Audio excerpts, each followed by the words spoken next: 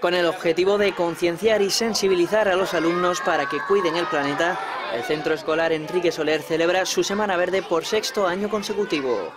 Bueno, pues esta es la sexta edición de una Semana Verde que se hace con el claro objetivo de concienciar y sensibilizar a los niños para que cuiden el planeta, que cuiden a todos sus habitantes, entre ellos pues a los animales. Eh, viendo animales donde hay en, en muchos sitios.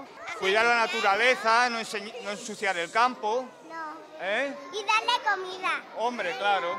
Una iniciativa cargada de actividades en la que los alumnos pueden conocer de cerca el mundo y los seres que viven en él.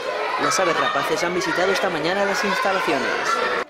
A mí me gusta el alcohol ese. Un halcón lanario, este es típico de la zona, del norte de África, y lo utilizamos para ahuyentar las gaviotas que puedan incordiar el, el- el espacio aéreo de, de los aviones. Un halcón. ¿Qué capacidad tiene un halcón? Ala. El águila. Porque son muy bonitos. Tiene un ojo súper grande. Muy suave. Aunque al principio los más pequeños han tenido mucho cuidado. El águila ha venido, yo digo, ay, ay, ay, ay, que me va a morir, que me va a morir, me, me, va- me vi para mi amiga, porque ay, que me va a morir, que yo tengo miedo. Yo no he tenido miedo. Ya que el centro tiene una exposición del mundo marino de manera permanente, en esta nueva edición el protagonismo ha recaído en la tortuga marina.